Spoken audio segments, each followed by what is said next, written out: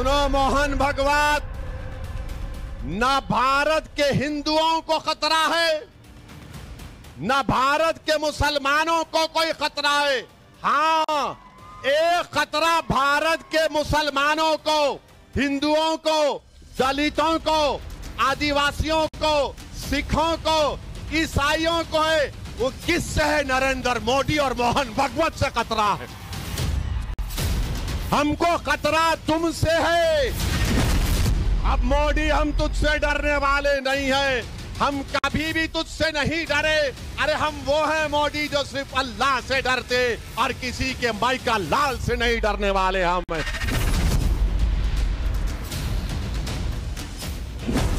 असदुद्दीन ओवैसी को नफरत नरेंद्र मोदी से है, दिक्कत मोहन भागवत से है, परेशानी योगी आदित्यनाथ से है।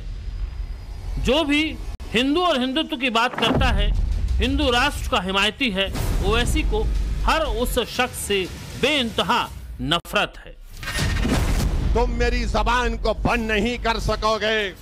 तुम यहाँ पर 240 हो, मगर याद रखो मैं 19 करोड़ आवाम का एक गुलाम बनकर, उनकी जबान बनकर तुम्हारे सामने उनके इंसाफ की बात करने आया हूँ। होश में आओ मुसलमानों! जो मुसलमान मोदी के इस लाए हुए बिल की तायीद कर रहे हैं, मैंने अपनी तकरीर में कहा था कि जब तुम्हारे बाप दादाओं की खबरों को मिसमार कर दिया जाएगा, तब तुमको तकलीफ़ होगी। नौजवानों, नतीजा उस वक्त निकलेगा जब तुम अपनी पार्टी की लीडरशिप को मज़बूत करो। टॉपिक मुसलमान का हो और ओवैसी खामोश बैठ जाएँ, ऐसा मुमकिन नहीं हो सकता। वक्फ से लेकर बुलडोजर तक हैदराबादी भाईजान बेहिसाब आग उगलते हैं। मस्जिद के नाम पर भड़काते हैं, फिलिस्तीन के ज़रिए मजहबी उन्माद फैलाने की मंशा रखते हैं। अब तक ओवैसी सिर्फ़ ज़ुबान से ही जहर उगलते थे, मगर अब पत्थर की बात भी करते हैं। मोदी जी। ये बेनियामिन नेतन्याहू को समझाओ। सीज फायर करो। बारह पंद्रह लाख फलस्तीनी बेघर हो गए। मगर मैं देखा हूँ उनके हौसलों को। ये मौज से डरने वाले नहीं है। उस सरजमीन पर बसने वाले अगर एक बच्चा भी होगा, सुन ले बेनियमिन नेतन्याहू, अगर एक बच्चा भी रहेगा फलस्तीनी वो पत्थर उठाकर कहेगा, अल्लाह अकबर अल्लाह अकबर अल्लाह अकबर. ओवैसी ने 77 मिनट लंबा मजहबी भाषण दिया। कभी भीड़ पर भड़के तो कभी भीड़ के सामने रुआसे हो गए। कभी शब्द लड़खड़ाए तो कभी रुके भी। मगर मोदी और बीजेपी के खिलाफ मुसलमानों को भड़काना बंद नहीं किया। ओवैसी की बौखलाहट क्यों है? पहले ये समझ लीजिए। फिर बताएँगे कि मोदी योगी को कोसने के सिवाय उनके पास दूसरा ऑप्शन क्यों नहीं है। मोहन भागवत ने कहा था, भारत हिंदू देश है, हिंदू राष्ट्र है, इसीलिए भारत माता के लिए जिएँगे, मरेंगे। पीएम मोदी ने कहा था, हमें याद रखना है, अगर हम बटेंगे तो बांटने वाले महफिल सजाएँगे। यूपी के सीएम योगी आदित्यनाथ भी कई बार कह चुके हैं बटेंगे तो कटेंगे, एक रहेंगे तो नेक रहेंगे। बस, इसी के बाद से ओवैसी का कंठ जहर से लबालब हो गया और फिर मजलिस में मुसलमानों की भीड़ देखकर माइक का वॉल्यूम लाउड कर दिया। मोहन भगवत से हम पूछना चाह रहे मोहन भगवत, दस साल से तो आपके चेले मोदी भारत के वज़ीर आज़म हैं। दस साल के वज़ीर आज़म के दौर में, बताओ मोहन भगवत, हिंदुओं को खतरा पैदा हुआ है। बताओ मोहन भगवत, ट्रिपल तलाक का कानून तुमने तुम्हारी पार्टी ने बनाया। 370 अनकॉन्स्टिट्यूशनल तरीके से निकलवाया। सी डबल ए का कानून संविधान के खिलाफ मज़हब पर बनाया। यूएपीए का कानून और गंदा कर दिया। तुमने क्या क्या कानून बना दिए? सिर्फ़ एक समुदाय के खिलाफ। उसका नाम मुसलमान है और उसके बाद मोहन भगवत दस साल के बाद कह रहे हैं कि भारत के 78 करोड़ हिंदुओं को खतरा है। ओवैसी ने भड़काऊ तकरीर के लिए जिस लोकेशन को चुना, वो तेलंगाना का निजामाबाद है। यहाँ कांग्रेस की सरकार है। मुस्लिम आबादी 38 फ़ीसदी से ज़्यादा, मगर सांसद बीजेपी का है। क्या ओवैसी की बौखलाहट इसीलिए भी है क्योंकि ओवैसी की राजनीति को इतने साल बीत गए, मगर हैदराबाद के बाहर उनका कोई वजूद नहीं। और तुर्रा ये कि बीजेपी को 2024 में पूर्ण बहुमत से उन्होंने अपने दम पर रोक दिया। को सजा दे रहे इसलिए कि 2024 में हमने मोदी के 370 के खाब को चुकना चूर कर दिया, उसको मिलिया मटिया मलिक मला दिया।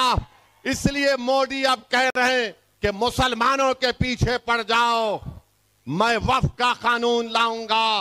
मैं बुलडोजर से, जब मैंने पार्लियामेंट में कहा कि मोदी के बुलडोजरों ने मुसलमानों के घरों को तोड़ दिया तो बीजेपी के लोग बड़े खफा हुए उठ गए।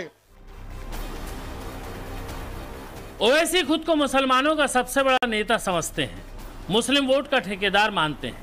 लेकिन बैरिस्टर होकर भी ओवैसी अपनी सियासत चमकाने के चक्कर में गलती कर बैठते हैं। कहीं का ईट, कहीं करोड़ा, भानुमति का कुंबा जोड़ा वाली कहावत ओवैसी पर एकदम फिट बैठती है।